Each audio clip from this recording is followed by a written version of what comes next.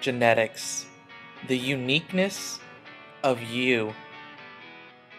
The genetics of an organism is very complex.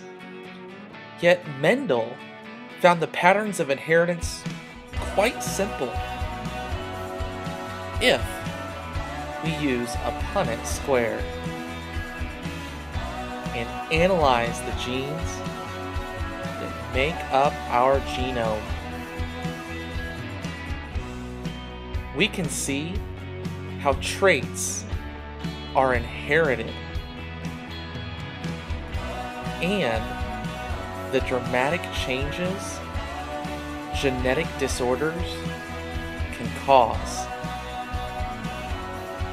We can predict the traits that an individual will inherit from mom and dad to child over and over again